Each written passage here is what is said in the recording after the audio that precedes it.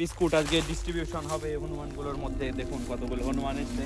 সবাইকে খাব বিস্কুট। এক এক করে এক শুরু হয়ে গেছে গাইজ